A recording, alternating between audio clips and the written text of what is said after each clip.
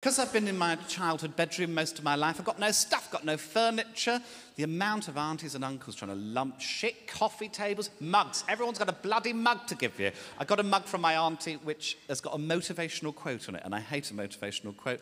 The quote is, You've got the same amount of hours in the day as Beyonce. but not the resources, Janet.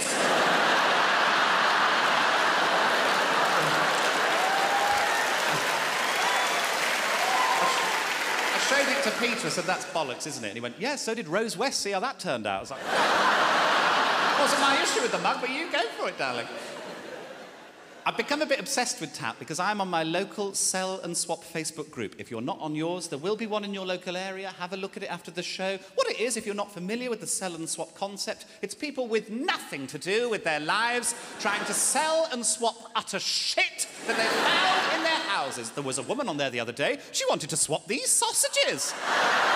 She bought some cauldron vegetarian sausages. She realised they weren't vegan. She wanted to swap them for a bag of fruit, e.g., plums. I know what fruit is. I don't need an example. What is this fruit?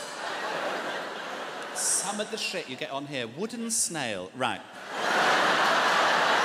Four comments. Who's looking at that going, I need more information. What is that? I don't know what that is.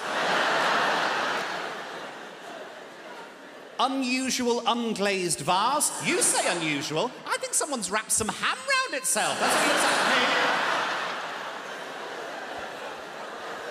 This one's. It's horrible, isn't it? Horrible. Uh, this one's particularly batshit. This is, um, I'll zoom in on this one. About 120 adult DVDs can easily sell for a pound each, so good profit. Open your boot at work and let the lads dive in.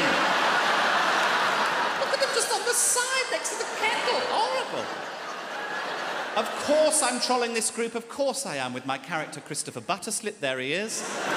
That's a drawing I did of Micky Flanagan that didn't go very well.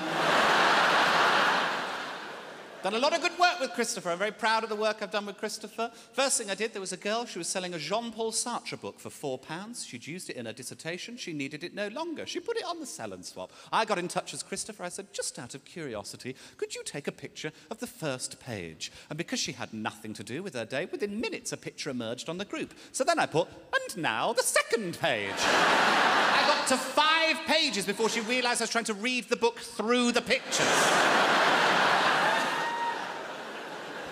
Oh, this one was good fun. Little Sammy's grown out of these ocean pals. I've also got about four copies of the Gruffalo, looking to swap for something a bit more grown up, she said. now, some of you are further along here. I suggested knives and saws. That's what I suggested. a nice selection of knives and saws.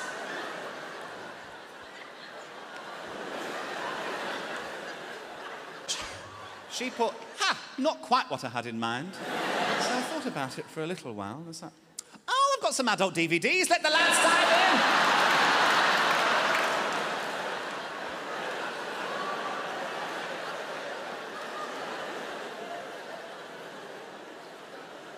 Favourite thing I've done on the sell and swap, it's pathetic this. I set myself up for a joke. I listed my own thing. I listed a bag of butter mints for one pound. Christopher Butterslit, bag of butter mints, one pound. Logged out, logged in as me, Joe Lycett, commented, what condition are these in? Logged back out, in as Christopher Butterslit, mint condition. Very happy with that.